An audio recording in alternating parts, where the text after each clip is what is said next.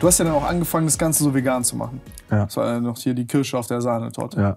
Zuerst würde ich sagen, Seit wann? den, äh, seit bisschen mehr als zwei Jahren. Also seit eigentlich 2000, 2021, 2020, äh, 2022 und 2023 ist das dritte Jahr vegan, sozusagen. Ich habe es fast nur zwei Jahre ausgehalten. Ja.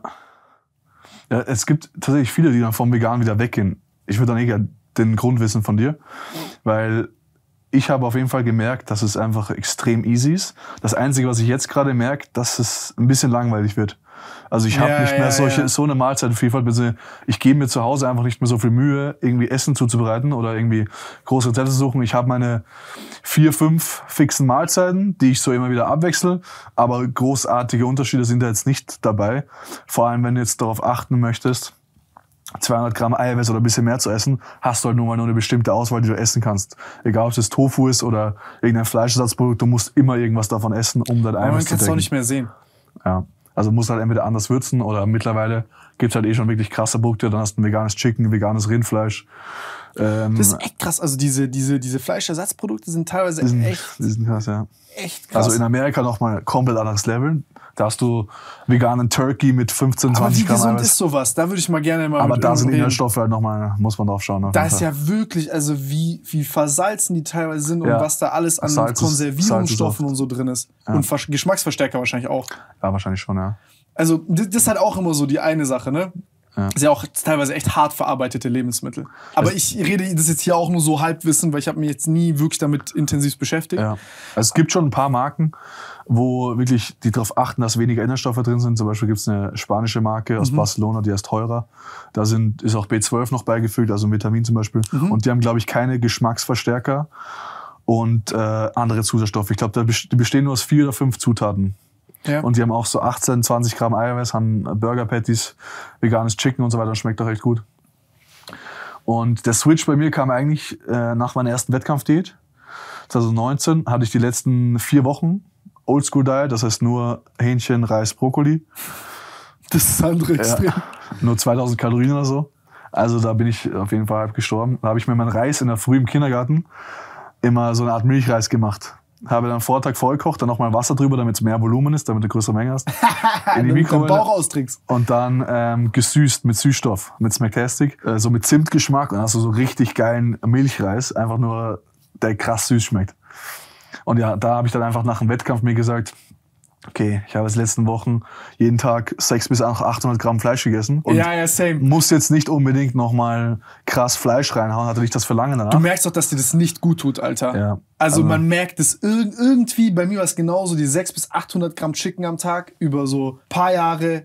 Irgendwann, du merkst, äh, also so in deinem Kopf ist so, ich brauche das für meinen Körper, aber irgendwie merkst du auch, das tut dir nicht gut. Ja. Ich muss sagen, vom Geschmack her war das auch gar, gar kein Problem für mich. Also, Chicken schmeckt mir schmeckt. Fleisch. Ja? Also- Achso, so, ich konnte es easy essen, ja, Ja. aber es war jetzt auch nicht, ich fand es auch nicht schwer, darauf zu verzichten, ehrlich gesagt. Ja, also so auf mal so einen Lungenbraten oder so ein, so ein gutes Steak. Ja. Oder vor allem bei mir Lachs war das Ding. Ja, Lachs. Lachs habe ich zum Beispiel noch gegessen. Ich habe mir halt eben gesagt, okay, wenn du Bock auf Fleisch hast, isst du Fleisch. Wenn nicht, lass es weg. Und dann habe ich eigentlich, ich glaube im Februar habe ich noch mal eine Burger Challenge gehabt, wo ich so einen XXL-Burger gegessen habe mit einem Freund von mir. Aber sonst danach habe ich eigentlich Fleisch circa komplett weggelassen. Nur noch ein paar Mal Sushi gegessen und halt Milchprodukte. Und dann hat Rocker, mein Sponsor, eben auch announced, dass die komplett vegan werden. Ich glaube Ende 2021, also dass sie sozusagen 2020, Ende 2020 damit starten, komplette äh, vegane Brotpalette bis 2021 zu machen. Und da habe ich mir gesagt, okay, ich bin vegetarisch, wieso lasse ich nicht einfach jetzt den Quark und das Whey-Protein auch noch weg? Und war dann eigentlich seitdem komplett vegan, hat dann nur noch veganes Protein benutzt und habe halt äh, schon während dem Jahr so versucht, ein paar Rezepte auszuprobieren, mal Tofu zu essen, mal Ersatzprodukte einzubauen und äh, habe dann eigentlich einen ziemlich starken Switch gehabt. Ab Ende 2020, Anfang 2021 war ich dann komplett vegan. Und 2021 dann sogar schon die Wettkampfdiät auch vegan gemacht. Das ist ja auch erstaunlich. Und da fragen dann alle so, oh mein Gott, und du kannst Muskeln aufbauen vegan. Und dann denkst du so, ja, warum nicht? Ja, so, wo ist das Problem? also Aminosäure ist Aminosäure. Ja, genau. Ähm, ich hab's ja auch, ich, also ich war, glaube ich, so, ich, boah, ich müsste jetzt lügen, ich glaube so, so, so, so fast zwei Jahre vegan oder so. In welchem, welchem Jahr war das? Boah, wann war das? Ehrlich, kein Plan. 2014? Also so, warst du, 14 warst du sogar vor 15? Misha? Ich, nach meiner Weisheitszahn-OP bin ich vegan geworden. Oder? Ich, ich weiß es ehrlich gesagt gar nicht mehr. Ich war jetzt auch, also es war dann so eine Phase mit vegan und so. Aber eigentlich war das geil, weil da war du vegan, Inscope, Ja. Misha, Patrick, Ja. Karl. Karl war, war eh Eigentlich schon crazy. Und da haben, würde ich jetzt sagen, nicht so viele drüber gespottet, oder? Das Wie ist so, ah, die? Veganer oder so. Doch, doch, doch, Ah, doch, okay. doch, Digga, das war, also. Ja, guck mal, ich glaube, das Problem an Veganismus ist, also auf der einen Seite überzeugen, äh, also auf der einen Seite äh, prallen so krasse moralische Überzeugungen auf, ich glaube, mit denen jeder Mensch irgendwie, ähm, jeder Mensch irgendwie versteht, weil am Ende des Tages du tötest Tiere. So, und wenn man da jetzt reinguckt, Tiere, ähm, also allein die Beschaffenheit des Nervensystems und Co., wir tun so, also wir, wir Menschen, damit wir uns, die Ausrede, die wir Menschen uns immer gerne erzählen, ist, ähm, ja, Tiere, wir vermenschlichen Tiere nicht, Men Tiere sind keine Menschen, Tiere haben keine Emotionen, das ist alles scheißegal. Äh, Tiere haben Emotionen und hab's oben sogar, das Buch ist übel interessant, also geht so um, um, um wirklich, also um sozusagen halt Tieremotionen und Co. Ist verrückt. Äh, Mäuse können lachen, die lachen in, in, in das finde ich so eine richtig gute Metapher dafür. Mäuse und Ratten lachen in einer, in einer Frequenz, die wir Menschen nicht hören können. Krass. So. Und verstehst du, also, was ich damit sagen will, ist, allein weil wir nicht dieselbe Sprache sprechen mit denen, haben wir nicht die, also kriegen wir es nicht hin, ist so unsichtbar für uns, dass Tiere Emotionen haben. Aber guck dir mal jetzt deinen Hund oder deine Katze an. So, du gehst runter und das, du, das Spielverhalten. Interagierst du, ja. Genau, also du, du sprichst ja halt nonverbal mit dem Tier. Ähm, und wir hatten es ja vorhin auch mit dem Spielen zum Beispiel. So, wenn du nicht jetzt Ball spielen, das ist auch eine Art von Kommunikation, die uns krass irgendwie ver verbinden Kannst du wird. sogar mit Tier machen. Genau. Beispiel. So, und ich, ich liebe Tiere so. Also immer, wenn du jetzt, ich bin da krank, wenn ich jetzt eine, eine Katze sehe oder so, Digga, ich bleib stehen, ist egal, was ich mache. So, für mich ist, ich, Ich bin allergisch, deswegen leider nicht, aber Das bei ist Hunden zumindest. ja, also so, ich, ich, ich liebe Tiere. Und dann ist es halt für mich, verstehst du? Und, und dann ist, glaube ich, etwas, was viele Menschen machen, ist, ich liebe Tiere, aber ich esse auch Fleisch. Ja. Und habe ich ein moralisches Dilemma, weil ich, weil ich bin, ich habe keine Integrität, was das Thema angeht. Also das bedeutet, meine moralischen Überzeugungen und wie ich mich verhalte, sind anders. Die geraten in Konflikt miteinander. Und ich habe keinen perfekten Weg für mich gefunden, diesen Konflikt aufzulösen. Jetzt könnte man easy sagen, okay, dann ist halt kein Fleisch mehr. Ich esse deutlich weniger Fleisch, aber trotzdem ist es etwas so, was mir irgendwo, was mich irgendwo im Magen trifft. Weil wenn ich mir jetzt eine Welt aussuchen könnte, dann würde ich gerne laborgezüchtetes Fleisch essen, Ja. wo kein Tier leiden muss auf der Welt. Auf der anderen Seite habe ich jetzt auch keinen Gesellschaftsentwurf, wie man die Weltbevölkerung ernährt bekommt und alles funktioniert und man das irgendwie von so umstellen kann. Den habe ich nicht parat, ich kenne die Lösung nicht. Ähm, und auf der anderen Seite gibt es Leute, die diesen, die diesen Konflikt halt auflösen, indem sie halt sagen, yo, ich sehe das Huhn nicht, ich sehe das Rind nicht, ich stelle mir das gar nicht vor, ich will es Ja. alles gar nicht sehen Ignorieren einfach. ich will einfach mein Fleisch.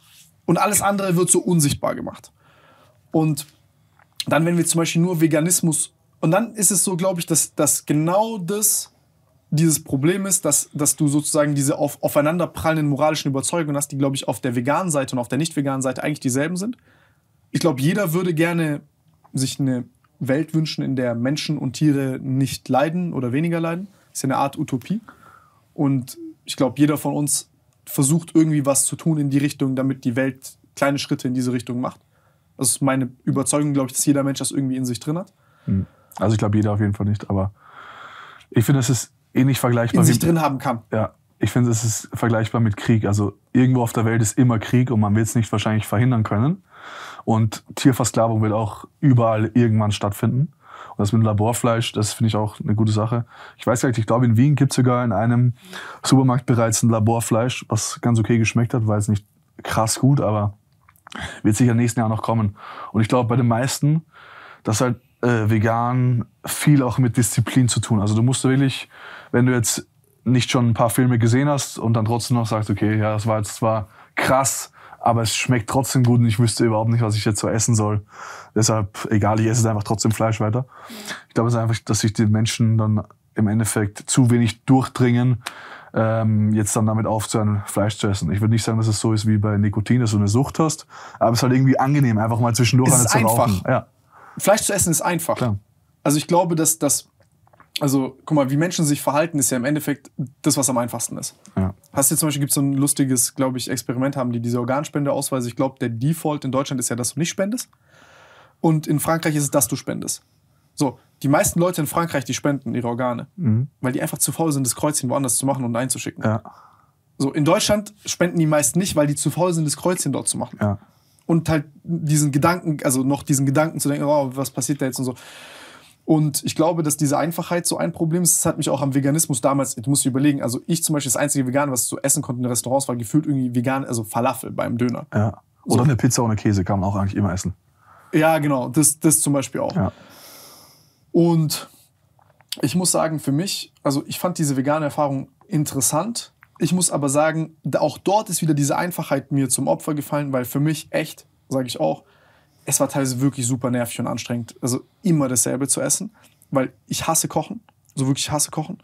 Und dann war ich auch einfach faul. Ich habe keinen Bock mir jetzt irgendwie da groß Gedanken zu machen, was kann ich jetzt wie kochen und wie viel. Lieber, ich bin so ein Typ, ey, lieber kümmert sich jemand anderes ums Kochen und ich, keine Ahnung, ich lese jetzt was oder ich mache irgendwas anderes. So, vielleicht so ein Luxusding oder so, aber ich hasse Kochen, wirklich hasse Kochen. Und ähm, ich finde es anstrengend. Also ich, ich finde es dann anstrengend, mir so einfach diese Gedanken zu machen. Und äh, habe dann halt einseitig immer dasselbe gegessen. So gefühlt. So einfach Hauptsache es funktioniert und Hauptsache ich habe A, keinen Hunger und B, ich habe so ungefähr die Nährstoffe, die ich brauche. Aber du verlierst halt dadurch, dass du eine geringere Varianz an Lebensmitteln hast, die du essen kannst.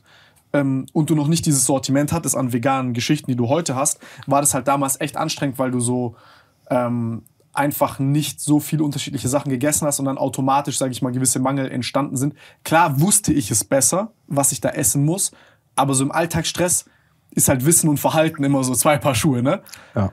Und dann war das bei mir halt so, dass ich halt wirklich gemerkt habe, boah, ich fühle mich nicht so gut und das ist dann halt dann leichter geworden dadurch. ja. Aber ich habe viel weniger, also ich esse sehr viel weniger Fleisch seitdem. Also es hat schon Unterschied für dich ist es wahrscheinlich leichter, wenn, du, wenn auch deine, wie gesagt, dass deine Freundin ist vegan, die kocht für dich, dann musst du zumindest nicht kochen und hast dann trotzdem meistens eine gute Mahlzeit, würde ich sagen, oder? Ja. ja. Das ist halt bei- vielen, würde ich sagen, wenn man jetzt nicht gerne kocht oder sagt, okay, ich will jetzt einfach nur schnell ein bisschen Hühnchen, ein bisschen Reis, ein bisschen was auch immer. Gibt's heutzutage, 2015 war es natürlich nochmal was anderes, zumindest schon eins zu eins ein Produkt, was eigentlich genau wie Hühnchen schmeckt, nur halt vegan ist, nur leider noch ein bisschen teurer ist vielleicht ähnlich wie Biohühnchen, aber preislich sind wir da, glaube ich, immer noch bei vielen Produkten leider über den Fleischprodukten. Ich hoffe, es ändert sich auch irgendwann.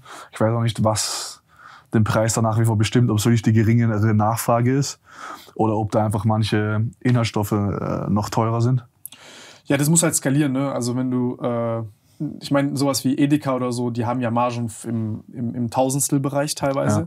Also diese Super, Supermärkte und du hast dann ganz andere Masse. Also wenn du, also du verkaufst halt viel mehr Fleisch, als du vegane Produkte verkaufst. Ja. Und das ist halt, also es, es ist, es ist, sage ich mal, schon ein Nachfrageding, weil wenn du eben mehr von den Sachen, so ein bisschen ne, Henne- und Ei-Problem. Du brauchst halt mehr Leute, die es wollen, damit sozusagen halt du noch mehr Produktionskapazitäten hast und du noch mehr von den Sachen produzieren kannst für weniger Geld.